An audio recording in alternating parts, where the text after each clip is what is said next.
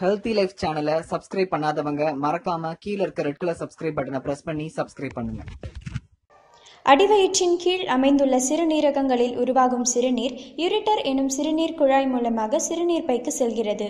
இந்த சிறுநீரகம் பெரியவர்களுக்கு சுமார் பத்து சென்டிமீட்டர் நீளமும் ஆறு சென்டிமீட்டர் அகலமும் கொண்டதாக இருக்கும். வயதானவர்கள் நானூறு முதல் ஐநூறு மில்லி லிட்டர் வரை சிறுநீரை சேமித்து வைக்க முடியும். ஒவ்வொரு நிமிடமும் ஆயிரத்தி இருநூறு மில்லி லிட்டர் அளவு இரத்தம் இரண்டு சிறுநீரகங்களுக்கும் வருகிறது. அதில் இதயத்திலிருந்து வெளியாகும் இரத்தத்தில் இருபது சதவீதம் உள்ளது. ஒரு நாளைக்கு ஆயிரத்தி எழுநூறு லிட்டர் இரத்தம் சுத்திகரிக்கப்படுகிறது. சிறுநீரகங்களில் பல ஹார்மோன்களை உருவாக்குகின்றன. அவை உடலில் உள்ள நீரின் அளவையும் உப்பின் அளவையும் கட்டுக்குள் வைத்திருக்க உதவுகிறது. சிறுநீரகங்களில் எரித்ரோபோய்டின் எனும் ஹார்மோன் உற்பத்தியாகும். அது இரத்தத்தில் உள்ள சிவப்பணுக்களை அதிகரிக்க செய்ய உதவுகிறது. சிறுநீரகம் பழுதடையும் போது சிவப்பு அணுக்களின் உற்பத்தி பாதிப்படைந்து இரத்தத்தில் உள்ள ஹீமோகுளோபின் அளவு குறைகிறது. சிறுநீரகம் செயலிழப்பால் ஏற்படும் பாதிப்புகள். ஒரே ஒரு சிறுநீரகம் செயலிழப்பதால் நோயாளிகளுக்கு எந்தவித சிரமமும் ஏற்படுவதில்லை.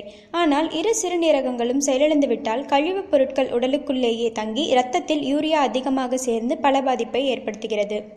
சிறுநீரக பிரச்சனை உள்ளவர்கள் அதிக நீர் குடிக்கக்கூடாது. ஏன்? சிறுநீரக கோளாறு என்றாலே அதிக தண்ணீர் குடிக்க வேண்டும் என்று கூறுவார்கள். ஆனால் அது மிகவும் தவறு. வீக்கம் ஏற்பட்ட பின் வெளிவரும் சிறுநீரின் அளவு குறைவாகவே இருக்கும். இது பல சிறுநீரக கோளாறுகளின் ஒரு அம்சம். இம்மாதிரியான நோயாளிகளுக்கு குடிக்கும் நீரை கட்டுப்படுத்துவது அவசியமாகிறது. ஆனால் சிறுநீரகத்தில் கற்கள் உள்ள நோயாளிகள் மற்றும் சிறுநீர் பாதையில் தொற்று உள்ளவர்கள் சிறுநீரகங்கள் பழுதடையாதவர்கள் மட்டும் நீரை அதிகம் குடிக்க வேண்டும். இந்த தகவல் உங்களுக்கு பிடிச்சிருந்தா கீழ இருக்க ரெட் கலர் சப்ஸ்கிரைப் பட்டனை பிரஸ் பண்ணி ஹெல்த்தி லைஃப் சேனலுக்கு சப்ஸ்கிரைப் பண்ணுங்க.